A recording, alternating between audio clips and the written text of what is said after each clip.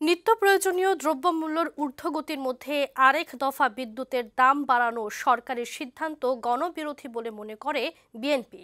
বুধবার দলের প্রতিষ্ঠাতা প্রয়াত রাষ্ট্রপতি জিয়াউর রহমানের কবরে শ্রদ্ধা নিবেদন শেষে দলটির স্থায়ী কমিটির সদস্য আব্দুল মঈন খান বলেন, আইএমএফ থেকে নেয়া ঋণের শর্ত পূরণের জন্য বেআইনিভাবে এই সিদ্ধান্ত নিয়েছে ক্ষমতাসীনরা।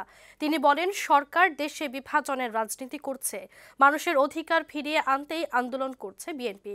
শান্তিপূর্ণ কর্মসূচির মাধ্যমেই সরকার পতনের হুঁশিয়ারি দেন বিএনপির এই নেতা। যে সরকার যে দ্রব্যমূল্যের দাম বাড়াচ্ছে, বিদ্যুতের দাম বাড়াচ্ছে, পানির দাম বাড়াচ্ছে, গ্যাসের দাম বাড়াচ্ছে, সেটা জনবিরোধী।